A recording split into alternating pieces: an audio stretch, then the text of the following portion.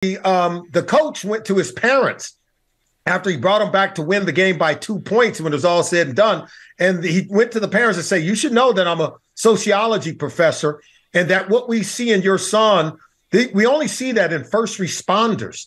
and um, people who are firefighters and police officers. He said, and serial offenders.